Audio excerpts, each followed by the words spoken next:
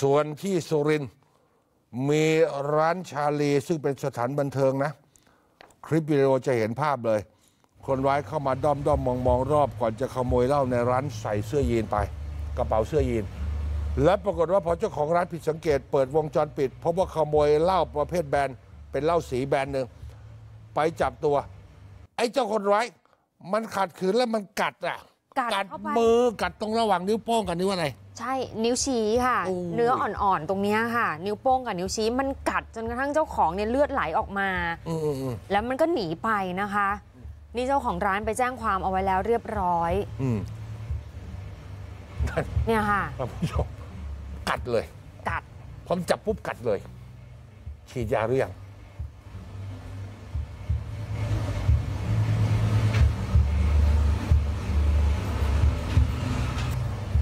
โอ้โหนั่นนั่นนั่นอืม